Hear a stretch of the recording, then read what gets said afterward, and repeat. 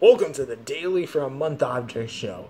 Last time we had a contest to see who could fly the best. Spoon was safe, and we let the viewers vote again. This time, Horn's eliminated. Get out of there.